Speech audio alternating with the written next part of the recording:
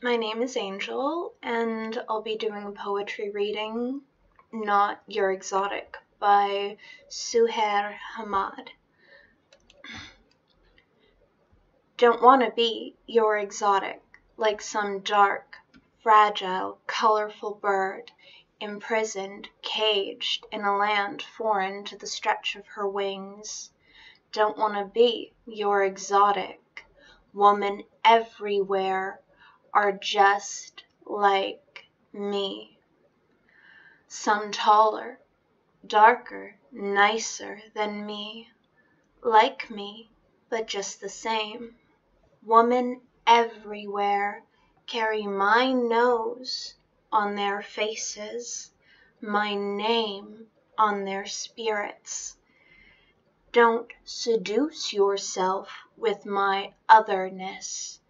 My hair wasn't put on top of my head to entice you into some mysterious black voodoo like the beat of my lashes against each other ain't some dark desert beat.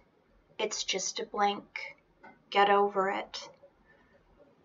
Don't build around me your fetish, your fantasy, your lustful profanity to cage me in, to clip my wings.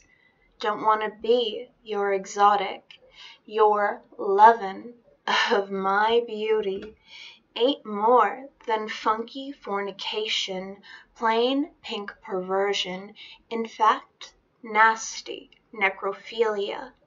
'Cause my beauty is dead to you.